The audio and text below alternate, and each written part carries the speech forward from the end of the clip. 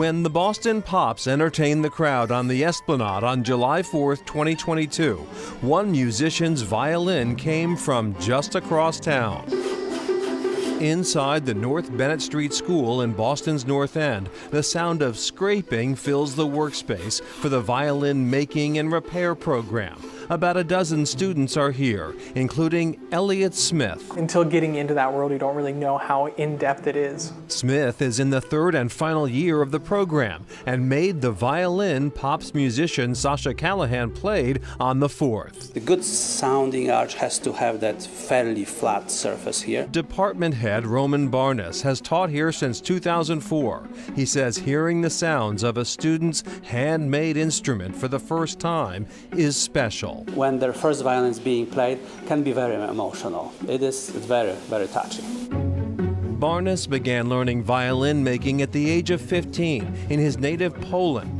He now shares his years of experience in instrument construction and restoration with his students. He says making a violin by hand makes a difference. The violin is a complex system, and because each piece of wood can vary a little bit, we can make small adjustments. Students embrace the delicate work. I really like carving F-holes. They're really fun. They're also high stakes. There's not a whole lot of room for error. We were just talking out the second turn.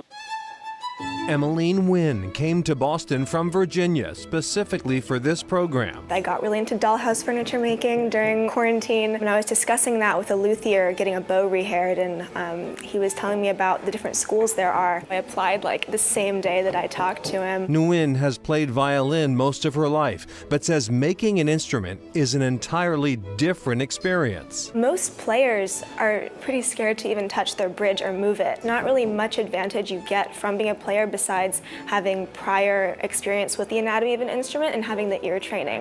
Barnes says even for experienced instrument makers, building a violin takes time. We start from just a basically slab of wood, and to carve everything or, or plane or bend for many it's a surprising amount of time. So good violin, it can take two months to make.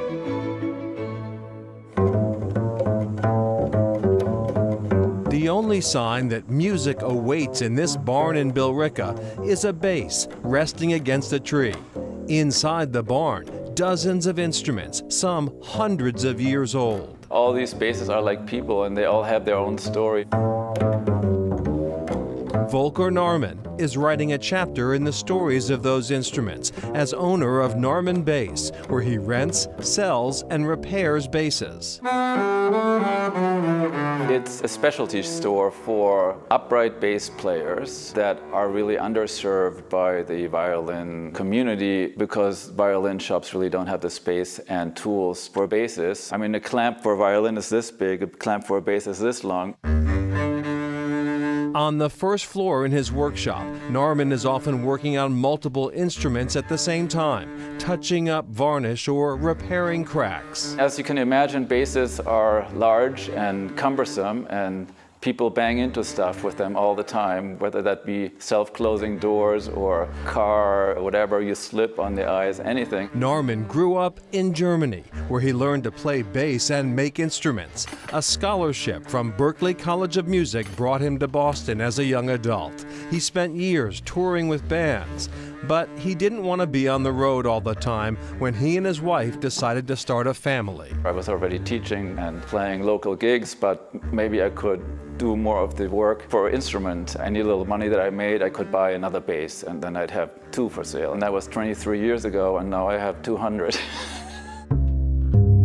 Along the way, Nahrmann has added some unusual instruments to his collection, like this one that came from Texas with a unique repair story. That bass actually was in an apartment fire. The repair person said, I have a cool idea. We could paint the whole bass blue and we could cover up all the charred parts with gold leaf. So to me, it's kind of like a phoenix of a bass. that came out of a fire. You know? He also has a collection of historic basses, including a few made by prominent 19th century New Hampshire luthier Abraham Prescott. Perfectly preserved original three string, and you don't see him very often. Nahrmann says he has more old instruments on hand that he hopes to restore so they can be played once again. Basically, I'm living my dream